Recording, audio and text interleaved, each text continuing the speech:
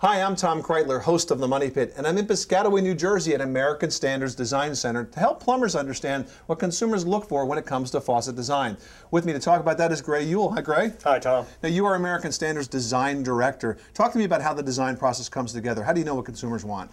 Well, we certainly look at home fashion. We talk to consumers. We start the design process with a lot of sketches. Okay, and then what happens? Well, then for very quickly we move to solid models so we see the proportions and the form and how it will work. Now, this model looks pretty industrial. That isn't something that you can show consumers, is No, when we talk to consumers, we take the foam model and then chrome plate it. Okay. This lets them see what it, it's Ah. going to look like and feel and really make a good judgment on the It's very light and yet it's very realistic. Correct. So you kind of start from the outside in. How do you get to the actual functional part of the faucet? Once we've defined the design, then engineering takes over and defines all the outer surfaces that will be in brass, all the internal waterways. They define the body, the spout, the handles, and finally we locate the ceramic disc valves. Now that's really the most important part when it comes to performance. How does a ceramic valve work? Well, ceramic disc valve is made up of two ceramic discs that are near diamond in hardness. Okay.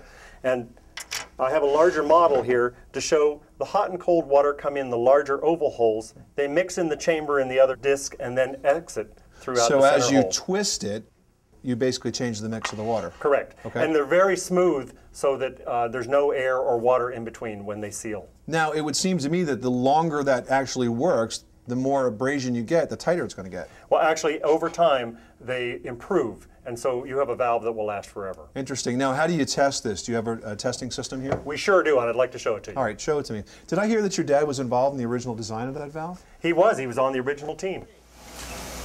This is our faucet test rig. Okay. We test every single component for a simulated 40-year life cycle. 40 years. So what exactly are we testing here? Well, on this particular rig, we're testing for the spout. You can see it's being moved back and forth. We want to make sure the seals and the bearing hold up over that time For period. 40 years. Correct. Now what about the finish? How do we test for that? Well, in the case of a finish, I have a demo. We have an ever-clean finish on our product. Water beads up and runs off. Oh, That's- very neat. So it doesn't stick. No, it's applied at the factory. Water droplets do not dry. Stays cleaner longer, and when you do need to clean it, it's easier. Now, plumbers are the experts on how these faucets break down. What's the one thing that they really complain about the most? That's a good question. Let's go to another demo, and I'll show you. All right.